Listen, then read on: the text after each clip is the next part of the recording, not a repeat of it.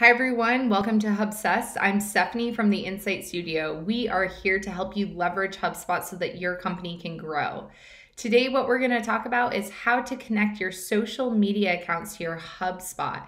This is specific to Marketing Pro and above, as Marketing Starter and Marketing Free does not have the social media function. Um, so if you fit into that category, we are going to dive in and connect your account so that you can start managing your social media from your HubSpot portal. Let's dive in. We are in the HubSpot account and we want to connect our social media. So we are going to click on the gear in the top right.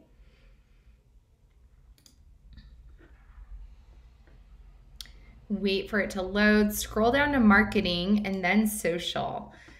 I don't have any social media accounts connected to this, so I'm going to see a pretty fresh screen here. So click connect account.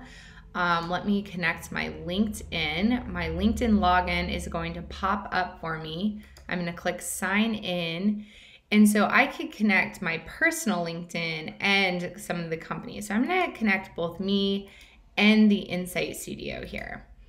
Hit OK. Um, not yet. I'm not ready to create a post yet. So here you can see these two. You can um, maybe like your company one's going to be your default. You could go ahead and connect to that too. If I then want to connect Facebook, I'm going to click connect account. And this is where I see we can connect the other ones also Twitter, Facebook, Instagram, and now YouTube, which is really new here. Um, once you've connected them, you'll be on this screen, right?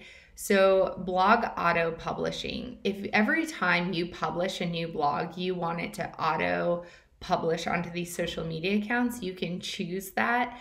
Um, some people do that. Other people will create multiple social posts spread out over time for the blog post, in which case maybe you don't want to do that. So, but all of them will appear here. And like you can see, you can also have employee accounts in here, company accounts. Um, you could just connect away.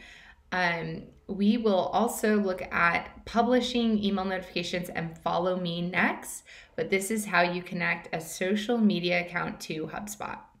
All right, and there you have it. You can now connect your social media accounts to your HubSpot and jump into managing your social media from HubSpot, which we will cover in another video. So go searching for that one too and we'll give you our tips and tricks on managing your social media. If you like this video, we would love to hear from you. Like our video, comment with any questions you have, and subscribe to get more updates just like this one. If you need help with your HubSpot account or inbound marketing, we are here to help you at the Insight Studio. You can visit us at theinsightstudio.com, and we look forward to hearing from you. Thanks. Bye.